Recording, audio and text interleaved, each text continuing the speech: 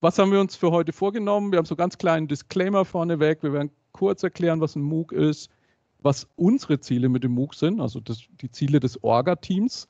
Äh, beim MOOC ist ja so, dass jeder auch mit eigenen Zielen kommt. Äh, aber wir erklären euch, warum wir den MOOC gemacht haben.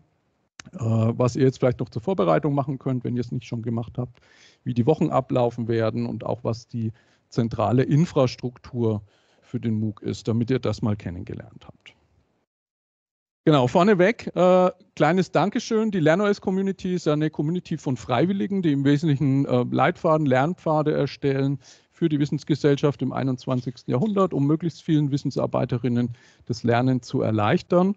Und da möchte ich vorneweg schicken einen Dank ans Leitfadenteam, Benedikt, Doris, Ellen, Oliver, Hans, Marcel, Moritz, noch ein Oliver, der Simon Ruderus, Stefan, Susan, Thilo, Thomas, Ute und ich. Äh, und auch den LernOS-Supportern, das sind Organisationen, die LernOS unterstützen. Da geht der Dank an das Bayernwerk, DATEV, Deutsche Telekom 111871, SAP, Siemens Healthineers und Vitesco. Äh, und damit wir das Dankeschön auch festgehalten haben im Recording, würde ich euch bitten, einfach einmal ganz kurz, macht mal euer Mikrofon auf und spendet mal einen Applaus, wenn euch das gefällt, dass da Freiwillige dran arbeiten. Hi. Perfekt. Es sind zwar viele virtuelle, genau, Jubel, sehr schön. Sind zwar viele virtuelle Applause schon durchgeflogen, aber ich finde es in, in echt immer noch mal schöner. Du weißt ja, wie die Mikrofone inzwischen immer diesen Klatschgeräusche auch mit ausfiltern. ja, aber bei mir ist es ganz gut angekommen. Äh, ich schalte mal alle nochmal stumm, falls einer offen gelassen hat. Äh, Sekunde. So, und Doris, du müsstest dich dann wieder entstummen. Genau, was wir nicht wollen, ist, dass eure Rechtsabteilungen bei uns auf der Matte stehen und äh, sagen, ihr verleitet hier unsere Mitarbeiterinnen Tools zu nutzen, die sie nicht dürfen. Also ihr müsst sicherstellen, was ihr nutzen dürft, könnt, wollt, auch welche Daten ihr verwendet. Ne? Also wir können natürlich, wir wissen nicht, was für Daten ihr in KI hineinkopiert. Ne? Seid euch bewusst, wenn ihr Sachen auf irgendwelche Dienste euch irgendwo anmeldet und dort Daten oder Dokumente hochladet. Das landet in der Regel in irgendwelchen Clouds, oft in amerikanischen Clouds. Insbesondere wenn es um persönliche Daten geht, seid da einfach vorsichtig. Äh, was auch noch wichtig ist, weil viele vielleicht so klassische Lernformate kennen, also sowas wie, man setzt sich in ein Seminar und kriegt alles schön häppchenweise vorbereitet, so funktioniert ein MOOC nicht, ne, sondern im MOOC ist sehr viel selbst organisiert.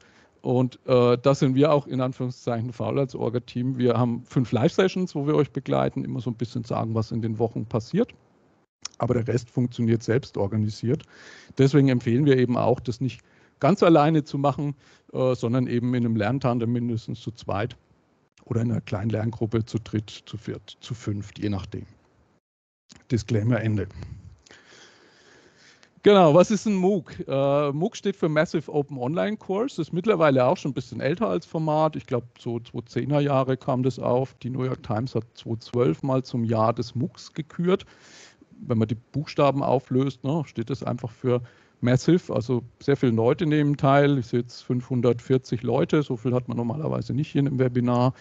Äh, alle können teilnehmen, das ist das Open, also es gibt keine Restriktion. Äh, der MOOC ist kostenlos, wer will, kann teilnehmen. Wer jetzt auch noch mit reinspringt, kann das tun. Äh, erfahrungsgemäß, wir hatten unseren ersten MOOC 2013, da kamen auch über die Laufzeit des MOOCs immer mal noch Leute dazu, also auch das ist möglich.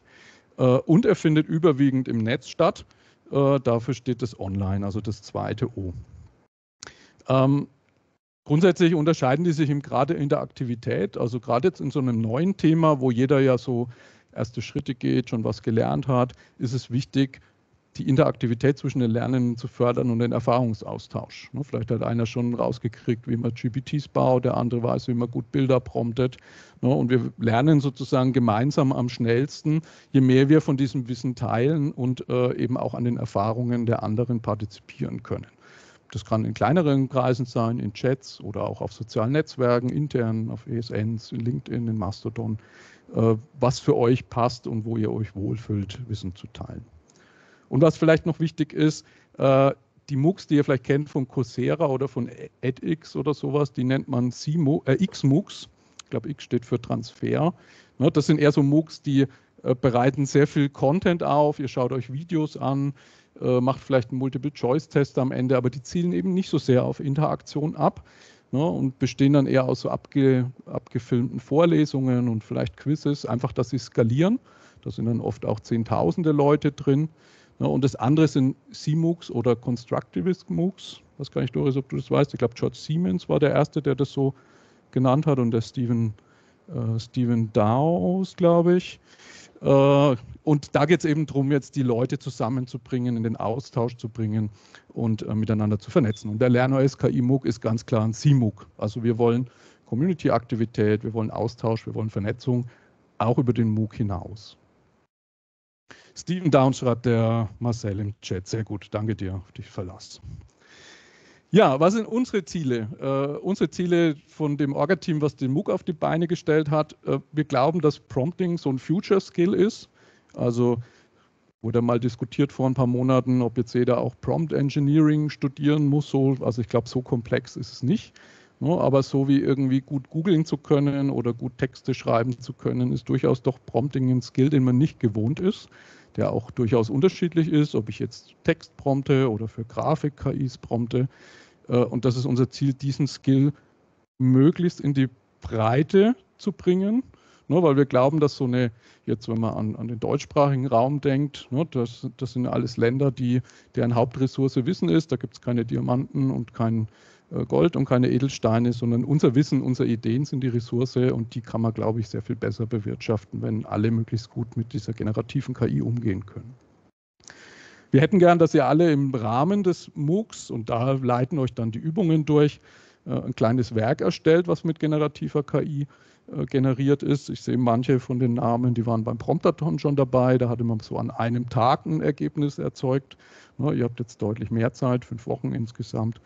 Äh, weil gerade an diesen Werken ne, wird sichtbar und vor allen Dingen, wenn man dann auch mit beschreibt, wie man das erstellt hat, wird eben sichtbar, wie es funktioniert. Und man kann ganz viel von anderen lernen und sagen, ich muss eigentlich sowas Ähnliches machen, äh, dann schaue ich mir mal ab, wie der oder diejenige das gemacht hat. Ja, und dadurch, dass der Leitfaden neu ist, auch noch so ein äh, Ziel von uns. Schön wäre, wenn euch Dinge auffallen, die falsch sind, wo ihr bessere Quellen kennt, wo Sachen schlecht erklärt sind, ne, dass ihr die einfach äh, uns in dem Feedback gebt. Wir werden von Woche zu Woche so kleine Feedback-Formulare einstreuen und ich zeige aber auch gleich noch, man kann direkt an den Leitfadenseiten Feedback geben, Kommentare reinschreiben. Dann haben auch gleich alle anderen was davon, wenn man zum Beispiel da Links ergänzt oder gute Quellen ergänzt. Schild kurz in Richtung Doris. Gibt es schon irgendwas aus? Ab Apropos ja. gute Links ergänzt, gute Quellen ergänzt, also das läuft das schon. Im Chat gibt es jetzt hier zu Konnektivism schon einige Informationslinks, also da könnt ihr euch auch schon natürlich mit äh, beschäftigen. Das Komische ist, wir bekommen jedes Mal die Nachricht, gesprochene Sprache wurde geändert, jetzt ist es mal wieder Englisch, dann wird es gleich wieder in Deutsch umswitchen, das irritiert ein wenig. Ähm, wir bleiben doch im Deutschen. die Simultanübersetzung hat ja für die, die später dazu gekommen sind, leider nicht so funktioniert wie wir das hier haben wollten. Aber eigentlich ist die Sprache Deutsch. Jetzt ist sie wieder Deutsch. Keine Ahnung, okay, was weil ich, ich bei mir damit sagen möchte. Ja, ja, ja. Okay. Einer fragt schon im, im, äh, im Chat, wo sind die Promptathon-Leute? Also falls jemand da ein paar Links teilen mag, Promptathon von der Corporate Learning Community, da ist auch ganz viel gepromptet worden, sehr viele gute Beispiele rausgekommen. Also die Links werden wir jetzt in den Wochen auf jeden Fall auch mit einstreuen. Ihr seht unten in dem Screenshare gehen die ganze Zeit schon so äh, kleine Übungen durch. Das hat die Katrin Mentele schön in der, äh, in der Sketchnote visualisiert. No, das sind eigentlich genauso diese einzelnen Übungen, die ihr euch dann äh, quasi in den einzelnen Wochen ähm, durch den Lernpfad durchführen. Das zeigen wir aber später auch noch ausführlich. Genau, was könnt ihr zur Vorbereitung machen? Ähm, falls noch nicht geschehen, äh, dann tragt euch die Termine für die Live-Sessions ein. Äh, in der Präsentation, da packe ich auch gleich noch den Link, das, das habe ich vergessen, in den Chat. Äh, also dies, das, was ich euch gerade zeige, ist eine Webpräsentation, die ist öffentlich zugänglich. Gib mir mal eine Sekunde, weil das wäre, glaube ich, ganz sinnvoll, dass wir die direkt in dem Chat haben. KIMO-Präsentation. Ist schon drin. Äh, ist Dafür schon drin. Bin ich ja hier. Ja, Doris, du bist so schnell. Sehr gut. Genau, also die könnt ihr euch auch selber durchklicken. Da ist eine ICS-Datei verlinkt. Damit könnt ihr mit einem Klick euch die Termine in den Kalender eintragen. Ansonsten sind die Einwahldaten, so wie ihr jetzt reingekommen seid, auch auf meetup.com stehen oben rechts. Der Teams-Link für alle Termine im MOOC ist der gleiche. Also wenn ihr den einmal habt, mit dem kommt ihr sozusagen immer wieder hinein. Die äh, MOOC Map, ich springe mal gerade drauf. Wir haben so eine äh, so eine kleine Landkarte gemacht, um zu visualisieren, wo kommen denn die ganzen Lernenden her. Äh, vorhin waren 109, jetzt sind 141 schon drin. Äh, könnte sein, dass das Tool da ein bisschen ans Schwitzen kommt. Also da könnt ihr dann, das scrollt schon so etwas langsamer jetzt, da könnt ihr quasi mal gucken, sind denn Leute in meiner Gegend, ist da irgendjemand dabei, der vielleicht noch jemand sucht. Ne? Wenn man hier mit der Maus über einen Punkt geht, sieht man quasi äh, Name, wenn man will, kann man ein Bild hoch. Ihr müsst auch keine Klarnamen, ihr könnt gern auch ähm, Pseudonyme verwenden. Die Map ist öffentlich, ne? also passt da drauf auf.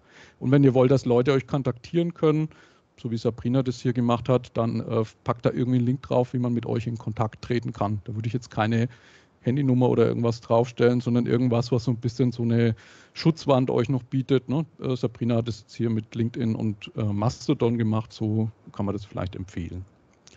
Und wenn man da schaut, finde ich ganz spannend, die äh, jetzt scrollt es nicht schnell genug. Hier unten in Peru die äh, Maria ist in Peru gerade unterwegs und äh, lässt sich aber nicht nehmen, aus Peru an dem MOOC teilzunehmen. Also äh, wahrscheinlich zusammen mit dem Sehr Kollegen cool. oder Kollegin hier drüben in, in China sozusagen die größte Distanz. Aber vielleicht überbietet es sogar noch jemand. Damit bin ich nicht mehr die südlichste Teilnehmerin. So ein Ding. Genau. Dein, äh, dein Pinöbel auf Mallorca war lange der weiteste, aber du wurdest, wurdest klar geschlagen. Genau, also das vorneweg. Optional noch, ähm, LernOS Community hat ja immer einmal im Jahr so eine äh, größere Veranstaltung, die LernOS Convention, die ist am 2. und, 2. und 3. Juli wieder auf der Kaiserburg in Nürnberg. Man kann auch online teilnehmen. Und wir haben den ganzen ersten Tag, da gibt es so eine Staffel von Lightning Talks gewidmet, äh, die Erfahrungen aus dem MOOC dort in kleinen Vorträgen zusammenzutragen, weil sich das eigentlich bewährt, wenn man so miteinander online lernt, dann auch mal zusammenzukommen und da eben Erfahrungen zusammenzutragen.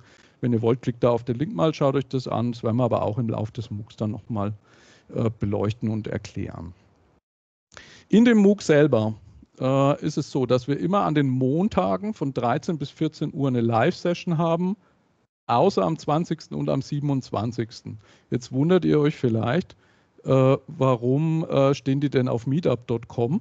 Da ist der Hintergrund der, dass ich auf meetup.com nur die Serie anlegen konnte und dann klingt es so ein bisschen komisch, ob man da einzelne Termine löschen kann oder nicht. Und da waren schon 70 Leute angemeldet und ich hatte irgendwie Angst, dort die Termine rauszulöschen, weil ich dachte, dann sind vielleicht alle weg.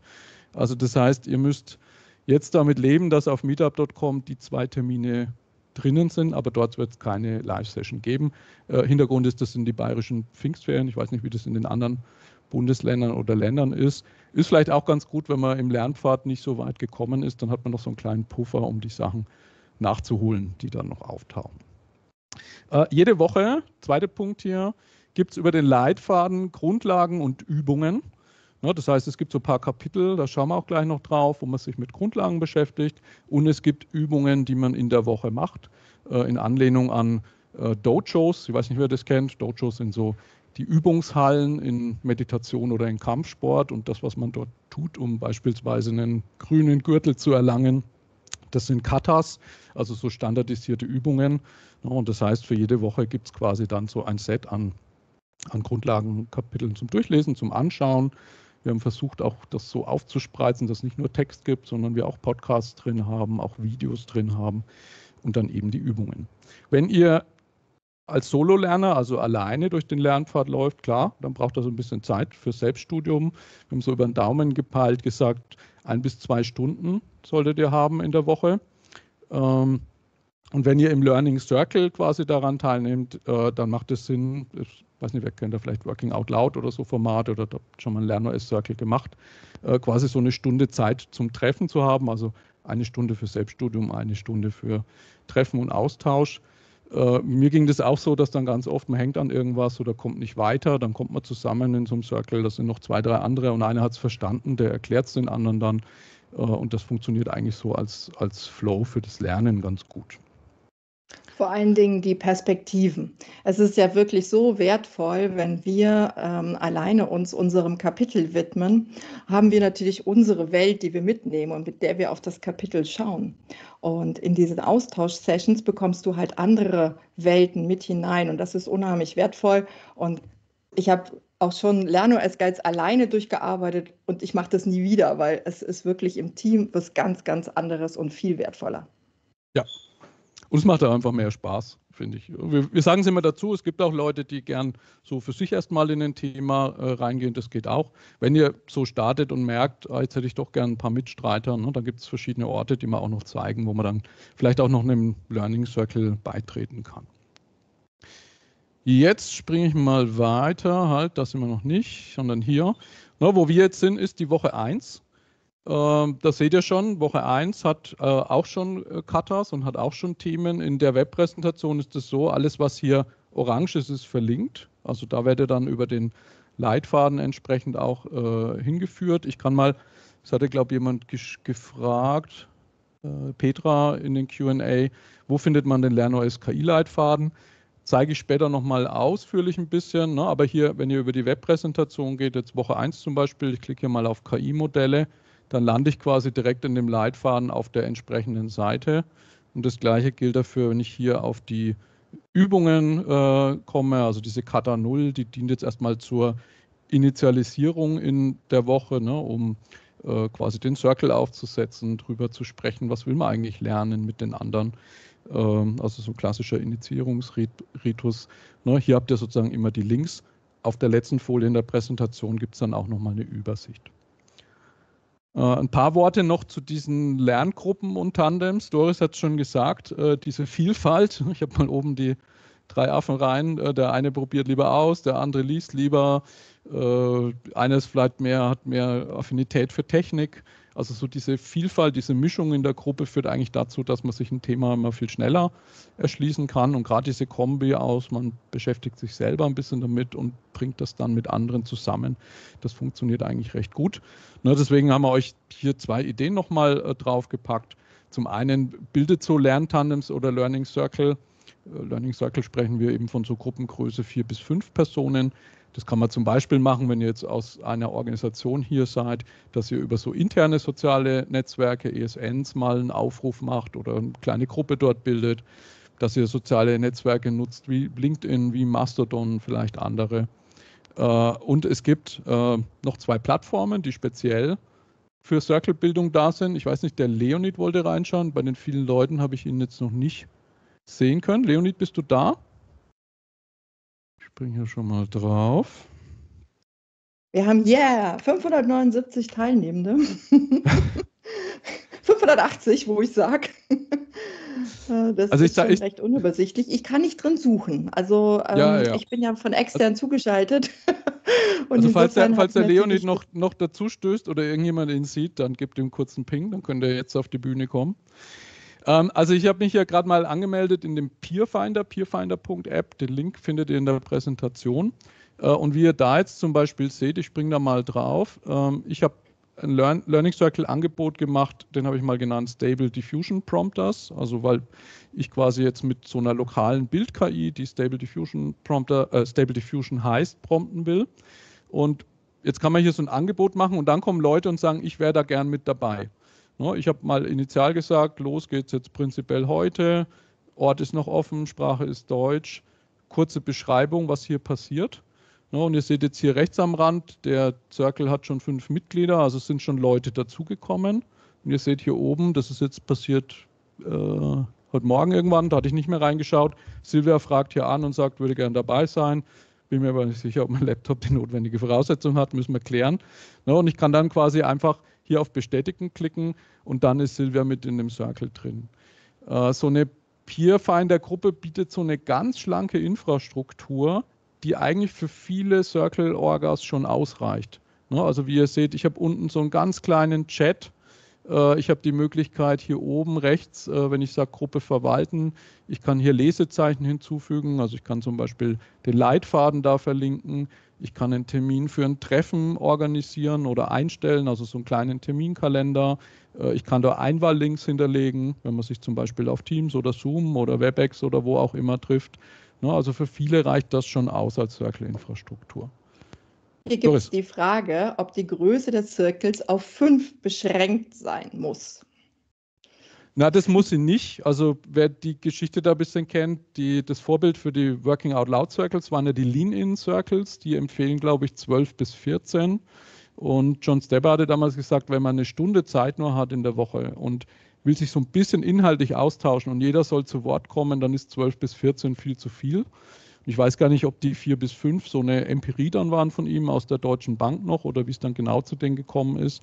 Ja, aber glaube, der Moritz hat es auch gerade in den Chat geschrieben, vier bis fünf oder vielleicht sechs, weil ihm auch mal einmal jemand rausfällt aus dem Circle, der dann keine Zeit mehr hat, ist, finde ich, so eine ganz gute Größe, wo, wo jeder seine, also die Vielfalt groß genug ist, der Blickwinkel, aber auch jeder seine Perspektive gut einbringen kann und die Terminkalender deutlich einfacher zu synchronisieren sind, wenn das ihr nicht in der gleichen Organisation seid, ja. die da alle dahinter stehen, sondern wenn ihr aus verschiedenen Bereichen kommt, dann ist es mit fünf Menschen auf jeden Fall viel, viel leichter. Das kann ich euch aus Erfahrung sagen. Und dann passt auch die Stunde. Und das ist ja wirklich wichtig für uns, wenn wir uns eben diese Stunde nehmen, dass wir dann auch durchkommen und mit fünf Leuten funktioniert das super.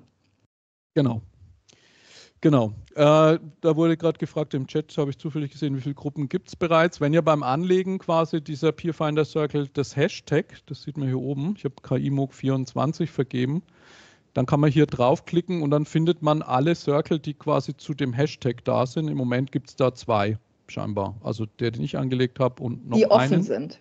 Ich glaube, du siehst jetzt nur die, die offen sind, weil ich die, sehe Genau, meine die geschlossen, nicht. richtig, mhm. genau. Wenn der schon geschlossen ist, dann sieht man den dann nicht mehr. Richtig. Richtig. Wenn ihr eine neue äh, Gruppe hier anlegen wollt, einfach auf neue Gruppe klicken, dann den Typ auswählen, LernOS Circle. Ihr könnt eurer, eurem Learning Circle einen Namen geben. Das finde ich auch immer ganz schön, ne, wenn die Gruppe so einen Namen hat, die grob beschreibt, was sie macht oder was das Thema ist oder auch einfach einen lustigen Namen. Kurze Beschreibung, dann hier, das wäre der Ort, wo man den äh, Tag einträgt entsprechend. Äh, und dann eben sagt, wann startet die, wie viele Mitglieder sind da maximal dabei weiß nicht, ich habe gehört vom Felix, glaube ich, die treffen sich sogar in einer Bibliothek bei sich in der Ortschaft. Wahrscheinlich sind die meisten Treffen aber virtuell, dann kann man den Haken setzen. Wenn man möchte, kann man hier auch schon Einwahllinks äh, hinterlegen oder sich einen äh, Jitsi-Link generieren lassen, falls jemand Jitsi verwenden will für den Austausch. Man kann die Sprachen festlegen. Also sehr wenig Daten, die man eigentlich nur braucht und dann drückt man auf den Knopf und dann ist die, der, das Circle-Angebot auf dem Circle-Marktplatz was vielleicht noch wichtig ist, ne, auf dem Marktplatz zu sein, ist das eine, so ein bisschen den Link in Richtung eurer bekannten Zielgruppe oder jetzt auch dann eben über den Hashtag auf LinkedIn, auf Mastodon das verbreiten, ne, damit man schnell eben auch Leute findet, die da mitmachen können. Und das ist, glaube ich, das, was du gerade gemeint hast, Doris, ne, diese private Gruppe, wenn man den Haken setzt, taucht es wahrscheinlich nicht in der Circle-Übersicht auf. Dann, und wenn er, wie gesagt, äh, geschlossen Voll ist. Ne? Das, das wird sich anbieten, wenn du das zum Beispiel jetzt mit einer Firma machst. Oder hm, ich habe das auch schon mal gemacht, wenn ich wusste aus meinem Netzwerk, da kommen fünf Leute zusammen. Und ich möchte aber jetzt nicht, dass jeder sich anmeldet. Dann kann ich das auch auf privat setzen. Aber ansonsten traut euch, arbeitet mit Menschen, die ihr vielleicht noch nicht kennt. Genau. Ich sehe, der Rainer hat den Chat geschrieben, ne, wir nutzen einen, einen offenen Teams-Kanal. Also wenn jetzt jemand in der Organisation so ein Circle macht, ist natürlich Teams eine tolle Plattform, entweder ein Gruppenchat in Teams oder ein ganzes Teams. Ne, da hat man dann gleich Videokonferenz äh, mit dabei. Teams hat mittlerweile die Möglichkeit, auch offene Kanäle zu machen. Also darüber würde man in den Chat-Kanal auch Leute reinbekommen außerhalb der Organisation, wenn das erlaubt ist. Ne? Passt da wieder auf, was bei euch in der Organisation erlaubt ist und was nicht. Ähm, Genau. Und vielleicht, weiß nicht, Marcel, äh, vielleicht könntest du einen Satz noch sagen, für die Leute, die auf Teams sind, ihr habt äh, für euch intern ja den Leitfaden auch in einer OneNote-Version. Da würden wir eventuell noch den Link bereitstellen, dass man den Leitfaden auch als OneNote verwenden kann. Ich sehe dich gerade so oben rechts im Eck. Vielleicht magst du da kurz noch was zu sagen. Richtig, da gibt es also ein entsprechendes Template, was wir erstmal intern aufbereitet haben für die Lernreise, die parallel ja läuft ähm, auf Conti-Seite. Und ähm, ich bin da mit Hannes im Austausch. Also ich hoffe, dass ihr das zeitnah bekommen könnt. Der hat es erstellt, das OneNote-Template, ähm, zusammen mit äh, Alicia bei uns. Und ja, sollte sicherlich an euch rübergehen, falls es noch nicht geschehen ist. Ich dachte, er hätte es schon cool. rübergeschickt. Also ich habe äh, jetzt nicht mehr die ganzen letzten Mails, weil heute früh recht viel los war, aber ich schaue da nochmal rein. Wir würden es dann einfach, wenn es da ist, verlinken auf der Leitfadenseite. Das zeige ich auch gleich nochmal wo. Und Gerne. kurz auf LinkedIn und Mastodon unter dem Hashtag schreiben. Ich finde es immer ganz angenehm, wenn man in, in Teams eh ist, sozusagen gleich eine Version zu haben, in die man dann auch reinschreiben kann, sich Notizen machen kann. Das ist eigentlich ganz fluffig. Wir hatten auch noch angeboten, äh, Lerngruppen zu finden in einem Pad auf der Übersichtsseite. Und dann gibt es natürlich noch die Möglichkeit, wenn du auf dem LernOS Discord-Server bist, da gibt es auch eine Rubrik Biete Suche und auch da haben schon Leute ja. angefangen, Lerngruppen zu suchen. Kommen wir gleich, äh, zeige ich auch gleich. Ich habe so eine Infrastrukturfolie noch, wo die ganzen Links drauf sind. Äh, ich wollte, ich gehe gerade mal noch einen Tick nach unten, weil wir haben zwei Besonderheiten noch. Die eine Besonderheit ist, ah, das hatte ich schon gesagt, da gibt es kein, äh, 2027 gibt es kein Live-Session. Da muss man hier nochmal ein bisschen runter. Ah, ich habe es noch gar nicht. Ah, doch, hier habe ich es eingetragen. Falls der Florian da ist, könntest du dein Mikro mal öffnen. Der Florian ja. von, ah, du bist da, sehr gut. Florian von MindGBT. MindGBT.com war auf dem äh, Corporate Learning Community Camp, Corporate Learning Camp, und hat dort einen Workshop gemacht oder eine Session gemacht, äh, wo sie mit ihrem Tool quasi das Prompting unterstützen. Und Florian hat angeboten, das optional im MOOC nochmal zu machen. Und ich fand es toll, sowohl äh, die Session als auch das Angebot. Da haben wir jetzt einen Termin vom 6, also am 6.6. 15 bis 17 Uhr. Den stellen wir auch auf meetup.com nochmal ein. Und Florian, wenn du magst, erzähl kurz, was die Leute erwartet, wenn sie da dann mitmachen wollten.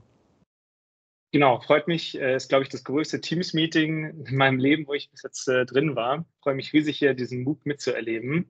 Ähm, genau, ich bin äh, ja, Gründer von dem Startup MindGPT. Wir begleiten Mittelständler bei der KI-Einführung haben dafür eben auch so eine sichere KI-Plattform gebaut und wir fokussieren uns da viel drauf, wie wir möglichst alle beim Thema Prompting und KI-Einsatz mitnehmen können. Und genau dafür haben wir quasi eine interaktive Lernplattform gebaut, wo wir dann quasi live während der Session ähm, Aufgaben äh, gemeinsam erledigen können. Das heißt, ihr sollt dann Mails schreiben, äh, Pläne generieren und so weiter. Und das könnt ihr dann direkt auf der Plattform machen und ein KI-Coach gibt euch dann Feedback, ob ihr, wie ihr eure Prompt noch verbessern könnt. Ähm, das ist so ein Konzept, um schon mal sehr viele Mitarbeiter zum, beim Thema KI dem Thema nahezubringen. Ähm, wir, unsere Entwickler lassen gerade noch die Lasttests laufen, dass wir auch potenziell 600 Leute parallel damit durchbekommen. Äh, die sind fleißig am Programmieren, das kann ich euch verraten. Und äh, ich bin sehr, sehr gespannt. Also wir machen quasi zwei Stunden Session. Eine Stunde davon ist reines äh, Live-Training. Wir werden dort mit ein paar Trainern bei uns mit dort sein, nochmal Fragen beantworten und äh, da einfach nochmal für alle, die schon ein bisschen Erfahrung haben und für die noch keine Erfahrung haben, dort einen geführten Einstieg nochmal dort geben. Ähm, genau, bin sehr gespannt und freue mich da natürlich riesig auf das Feedback, was wir dazu bekommen. Sehr cool. Und danke Simon Dank für die Möglichkeit euch. dafür. Ja, wir haben zu danken. Das ist ein tolles Angebot, da nochmal strukturiert und mit so einem Lernangebot einzusteigen. Also großen virtuellen Applaus an euch. Gut, genau, das ist das, das eine, was besonders ist in den Wochen. Ich springe gerade nochmal in die fünfte Woche. Das ist vielleicht äh, interessant für Leute, die hier so bei uns im Raum sind, Nürnberger Raum. Äh, wir haben ähm, für den 21.06. unseren Knowledge Jam Termin äh, hier in der Cognition Akademie in Nürnberg, äh, also auf den Tag gelegt. Das heißt, wer mag, kann da zu so einem Coworking-Tag äh, 10 bis 16 Uhr nach Nürnberg kommen und sich nochmal austauschen. Vielleicht Gelegenheit, sich mit dem Circle nochmal zu treffen. Und dort machen wir dann von 13 bis 14 Uhr einfach so einen ganz offiziellen Abschluss des MOOCs, sodass er so ähnlich wie wir heute eine Auftaktveranstaltung hatten, auch einen schönen gemeinsamen Abschluss dann haben am Ende. Da folgt aber noch die Anmeldung. Ah nee, ich habe sie sogar schon, jemand hat sie erstellt. Ich habe sie nicht erstellt. Jemand hat sie erstellt. Äh, wenn ihr hier draufklickt, dann findet ihr so ein Ding, äh, das bei uns auf der Community-Plattform, da könnt ihr euch dann anmelden. Wir haben so für 30, max 35 Leute Platz. Und dann haben wir die Abschlusssession auch nochmal mit kleinem Live-Publikum. Gut, dann komme ich hier auch zur letzten Folie nochmal gesammelt, die ganzen Links, die ihr braucht. Also, wenn sich irgendwas ändert, ihr habt ja schon mal ähm, so Infomails von uns bekommen, die wir über meetup.com verschicken. Es gibt diese Infoseite hier zum KI-MOOC. Ne, äh, das ist dieser Link. Da findet ihr hier oben, das ist der Link zu den Folien. Äh, also da könnt ihr in die Folien reingucken. Das werden wir jetzt auch so ein bisschen umbauen, ne, dass hier noch die anderen Termine mit auftauchen. Aber falls sich irgendwas ändern sollte an Terminen, ihr werdet eine Infomail über meetup.com kriegen und wir werden es auf diese Seite schreiben. Das ist so ein bisschen unser Single Point of Truth, wenn man so will. Dann äh, wurde vorhin schon gefragt, die Leitfäden, die sind hier verlinkt. Äh, wir haben immer so Webversionen der Leitfäden. Also was ihr hier seht, ist die Startseite des deutschen Leitfadens wie man das kennt, so linke Seite Navigation. In dem Grundlagenkapitel sind die ganzen Grundlageninhalte.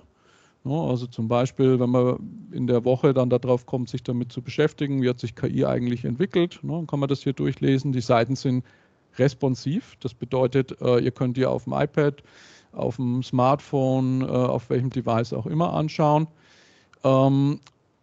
Das Grundlagenkapitel und dann gibt es das Lernpfadkapitel, da sind diese Katas oder Übungen drin. Ne, wie ihr seht, 13 Stück, äh, weil wir eigentlich diese Lernpfade auslegen für, sie laufen über ein Quartal, ne, dass man die in einem Quartal macht und wir tun das jetzt, damit wir bis zur LernOS Convention quasi einmal durch sind mit euch durch den Pfad, so ein bisschen äh, komprimieren und zusammendrücken.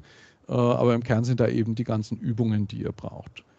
Äh, jemand schreibt, äh, ja, äh, GBT, das nicht mit Bertha, sondern mit Paula der Link. Genau. Äh, dann gibt es hier noch was Besonderes. Äh, wir schreiben, wir schreiben diese, äh, diese Inhalte quasi in so einer neutralen Sprache. Markdown nennt sich die, muss euch nicht interessieren. Wir generieren daraus die Leitfäden dann. Das führt dazu, dass ihr hier unter Download euch auch eine PDF-Version runterladen könnt. Wer will, kann sich eine Word-Version runterladen. Wer es in einen Wiki kopieren will oder so, eine HTML-Version.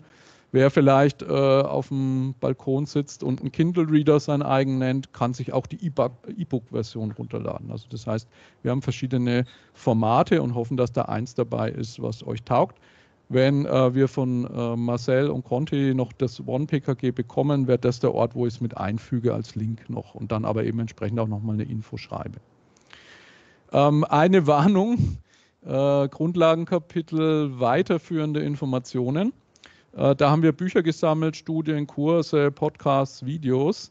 In dem Zeitkontingent, was ich vorhin erwähnt habe, ist diese Sammlung hier nicht dabei. Also wenn ihr hier abtaucht und fangt an, euch Videos anzuschauen mit einer Stunde oder so, dann müsst ihr gucken, dass er mit der Zeit hinkommt. Na, die Idee, und da werdet ihr im, Leit, im Lernpfad auch drüber stolpern, ist, dass wir euch hier Dinge geben, wo man sagt, das sind Newsletter, die ich abonniere oder YouTube-Kanäle, die ich abonniere, um dann auch über den MOOC hinaus einfach am Ball zu bleiben Ne, und am Beispiel dieser Seite kann ich es mal noch zeigen. An jeder Seite im Leitfaden hängen unten Kommentare dran. Ne, das heißt, ihr könnt zum einen über die Reaktionen sagen, hat mir gefallen, hat mir nicht gefallen, Daumen hoch, Daumen runter. Ne, anders als bei LinkedIn gibt es bei uns nicht nur Daumen hoch, sondern wenn der, das Kapitel Shit war, dann könnt ihr auch den Daumen runter machen.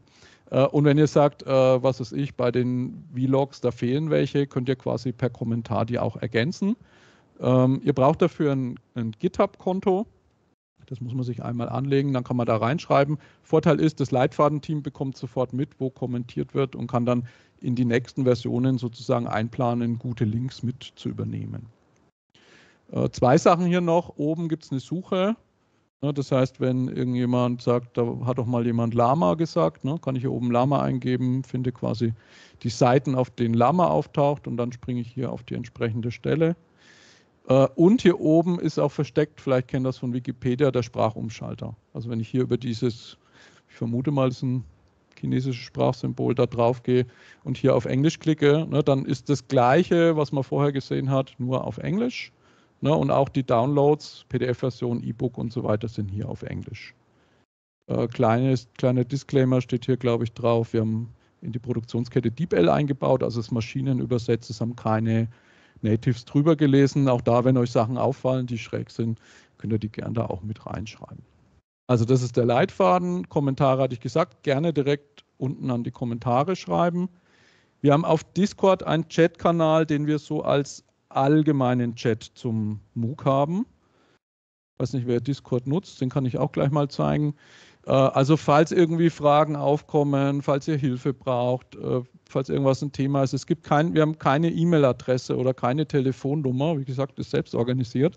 Aber wir wollten so ein bisschen einen Ort bieten, wo Hilfe zur Selbsthilfe möglich ist, ne, wo vielleicht jemand eine Frage hat und jemand anders weiß schon die Lösung oder die Antwort dazu. Ich schiebe mal gerade mein Discord hier rüber. Das sieht so ein bisschen aus wie Teams oder wie Slack. Und wenn ihr dem Einladungslink folgt, gibt es hier eben hier links äh, LernOS KI MOOC gibt es eine Kategorie auf unserem Discord-Server. Das ist, das ist so die allgemeine, der allgemeine Kanal. Ne? Johnny sagt hier, huhu, hi, grüß dich Johnny, äh, wo es so Reaktionen und so weiter gibt. Ne? Da kann ich ihm jetzt hier einen Daumen hoch geben zum Beispiel. Und wir haben separat, weil wir vermutet haben, dass da relativ viel Traffic drauf ist, jetzt gerade in der ersten Woche auch nochmal so einen Suche-Biete-Kanal. Ja, das heißt, wenn jetzt jemand äh, im Peerfinder meinetwegen ein, ein, Gesuch hat oder so, lohnt sich das sicher, das auch hier mal reinzupacken. Na, braucht man halt und Discord. Und die Sophie hat über die äh, Frage und Antwort genau nach dieser Gruppe gefragt und schau da bitte rein, weil es haben sich auch schon einige Leute gemeldet, die dir eine Lerngruppe anbieten und dann auch wiederum hat jemand an, angefragt in dieser F&A-Sektion, ob die Person auch bei einer anderen Lerngruppe mitmachen kann. Also ihr seht, äh, es gibt viele Kanäle, eine Lerngruppe zu finden. Also erfahrungsgemäß fühlt sich so ein MOOC erstmal in der ersten Woche sehr turbulent an und dann ist es, dann rüttelt er sich so zurecht. Und äh, so muss man das, glaube ich, sehen. Ähm, genau. Ich wollte gerade hier noch zeigen, äh, zum Lerngruppenbilden das Pad. Ich glaube, Doris, du hattest den Link direkt zu diesem Pad schon in den Chat gepostet. Genau, äh, da kam jemand zuvor. Ist da okay, ist drin. Genau, einfach hochscrollen. Genau. Wir haben auf dieser einen Landingpage quasi, die ganz oben verlinkt ist, unser Single Source of Truth. Da ist auch nochmal ein Pad eingebaut, wo auch Gesuche drauf passen können. Ne, also da hatte ich jetzt auch meinen, der ist jetzt voll, den werde ich dann äh, umkopieren von hier oben nach hier unten. Da passieren irgendwelche wilden Sachen, da müssen wir nochmal drauf gucken. Äh, aber das könnt ihr gerne eben auch als Marktplatz verwenden, um da euch zusammenzufinden.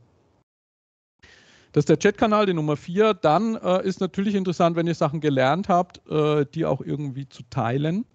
Wir haben äh, oder verwenden auf LinkedIn den Hashtag KIMOOC24. Das ist immer ganz witzig, weil viele wissen gar nicht, dass es auf LinkedIn Hashtags gibt. Ne? Also ihr könnt mit diesem Gartenzaun KIMOOC24, wenn ihr das verwendet in dem Post, so wie ich es hier zum Beispiel gemacht habe. Ne? Ich habe hier meinen Ort, wo ich jetzt gerade sitze, gepostet und der Sven hat geschrieben, er ist Teilnehmer, dann sieht man ihn schon hier, hallo Sven.